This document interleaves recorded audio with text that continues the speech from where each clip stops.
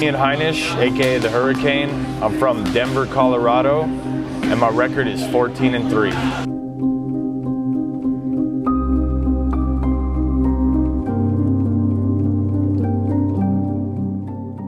You know, I had a good upbringing. You know, it was, uh, you know, it was. We lived in a good, good neighborhood.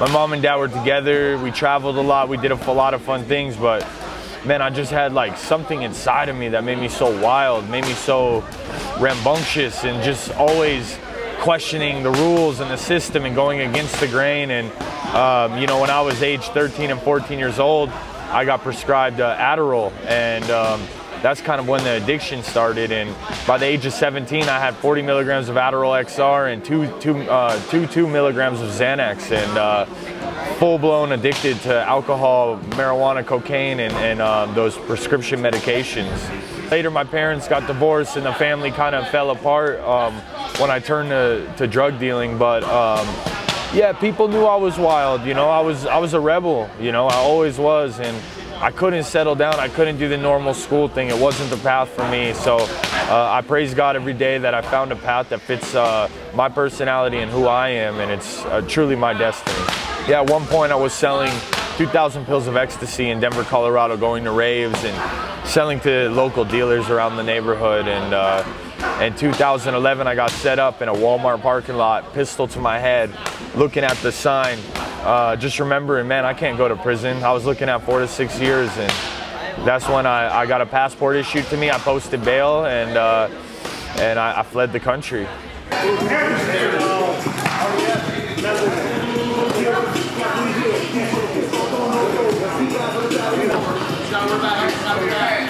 Here we go. Here we go. Up, up, up. You got to score now. You're losing this fight, so you score. Fleeing the country, obviously, I was I was 19 years old. I felt like it was my golden years, and I felt like going to prison, especially prison in America, crime school as I call it, would be the worst thing I could have done. And so I literally packed up everything I had in a backpack, took a Greyhound to uh, Indiana, said goodbye to my family, took a train to New York, JFK to Amsterdam with about $2,000 in my pocket um, on my own, didn't know anyone. When I got to Amsterdam, um, you know, right back into the partying. You know, I wanted to do things I couldn't do in America, which is drink absinthe and smoke legal marijuana. And, uh, you know, I just kept getting in trouble, man. And, and, eventually I had a cousin who had a friend in Belgium who uh, actually I took a bus out there and he kind of put me up for a little bit until I got a job and got my, got my feet under me a little bit in, in uh, Bruges, Belgium. And uh, that only lasted for about eight months. I met this crazy English guy we ended up getting fired from the job on the same night, basically hosting a party in this guy's bar with their alcohol. And uh, he said, let's go to England, mate, I'll get us a job. And his idea of a job was us sleeping in an apartment with no electricity, no hot water, no furniture, nothing. We camped out in this apartment and painted the walls in the day. And uh, it was just not a life I was wanting to live. And that's when eventually I made my way to Tenerife, Spain, the Canary Islands. Once I landed in the Canary Islands, it was paradise for me. I walked along the beach. I remember beautiful women, beautiful people, and uh, just beautiful beaches. And I'm a beach kind of guy, so uh, I made my way down to the club part area, and I actually got hired on the spot to be a PR, which is basically they paid me in drinks. I got eight drinks when I worked, four drinks when I got off work, and I basically just came up to tourists and said, "Hey, if you guys all buy a drink, I'll get you a free cocktail." With a, a, free shot for everyone. And uh, eventually, three months of this, I'm full blown alcoholic, man. I can't even pay 30 euros a month or a week in my rent. And uh, I was sleeping on friends' couches. I was sleeping on the beach. Sometimes when it was really windy, I had to dig a hole so the wind wouldn't hit me when I was sleeping on the beach. And uh, eventually, I met this Cuban who was actually born in Miami. And he said, Hey, gringo, come live with us, man. We don't want to see you like this. And uh, they took me in like family. And about a few months of me getting sober, the guy, uh, the the guy sat me down and he said, "Hey, um, Gringo, let's go make some real money." And I was like, "What do you mean?" He's like, "Colombia, Gringo, Colombia." And that's when we started going down to Colombia, Venezuela, Aruba, uh, picking up the cocaine and transporting it back to Spain. Uh, swallowing a lot of cocaine is, is not very fun. You know, it takes about eight hours to swallow a kilo. You know, you try to do at least 10 to 12 uh, balls uh, an hour.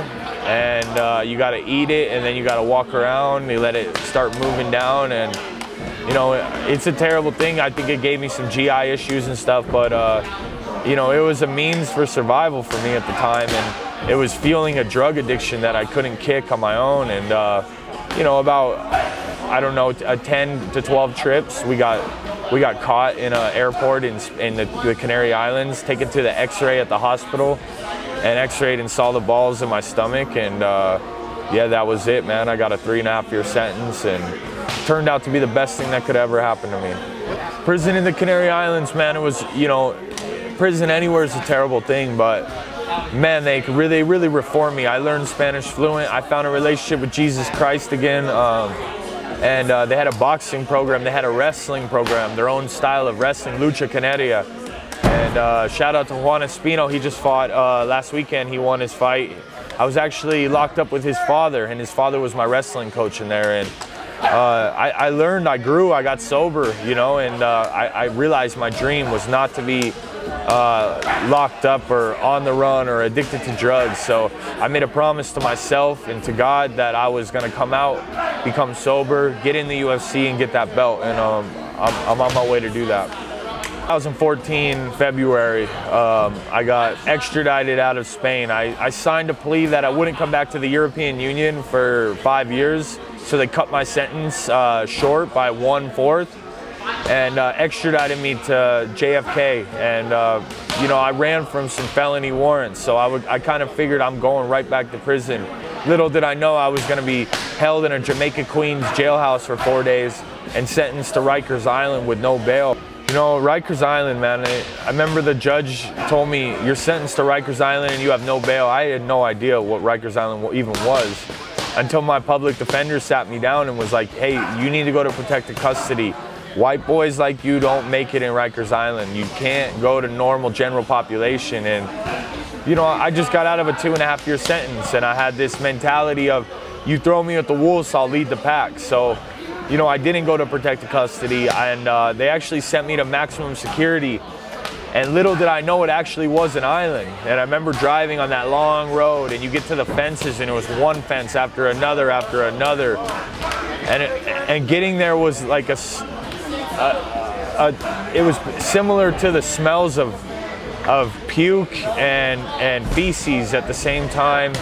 It was dirty it was always chaotic. I felt like there was always something going on, a brawl. There was always police officers or guards running to a, an area to uh, try to dissolve the situation. And uh, man, that was one of the the most survival, scary moments of my life for sure. Last day I was there, I had an SOS on me.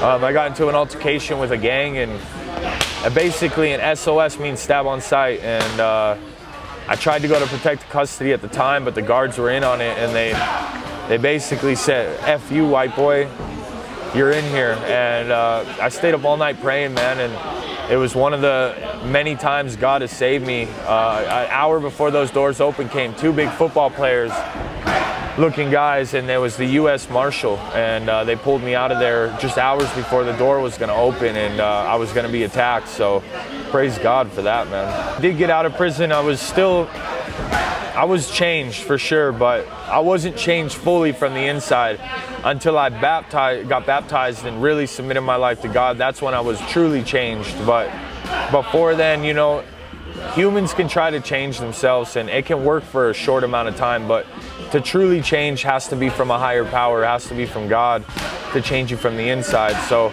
I was changed. I had new goals. I had new perspective. I had new uh, new vision on my life and everything. But um, you know, I did end up falling back into painkillers after I tore my LCL before my LFA fight, and um, and then I took my first loss that I've ever taken in my amateur or professional career and it was the brink of me getting in the UFC, and that's when I fully surrendered to God. I got baptized, and literally two years later, I made it to the top 10 in the UFC, got a UFC contract, met my wife, bought a house. Uh, the blessings just rolled in, and uh, you know, I give that I give that to the glory of God for sure.